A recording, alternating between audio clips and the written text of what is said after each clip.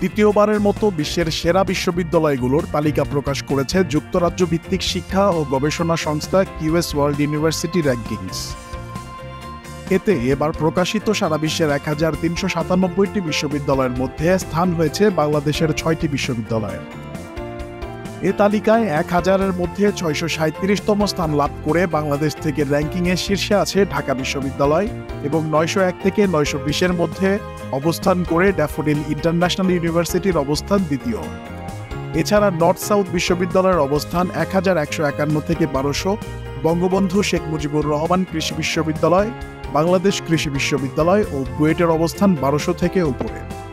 বারোশো একের পরে থাকা বিশ্ববিদ্যালয়গুলোর সুনির্দিষ্ট অবস্থান প্রকাশ করা হয়নি এবারের র্যাঙ্কিংয়ে। র্যাঙ্কিংয়ে এবার মোট একশো স্কোরের তিনটি সূচকে বিশ্ববিদ্যালয়ের সামগ্রিক মান নিরূপণ করা হয়েছে। সব সূচকের যোগফলের গড়ের ভিত্তিতে সামগ্রিক স্কোর নির্ধারিত হয়েছে।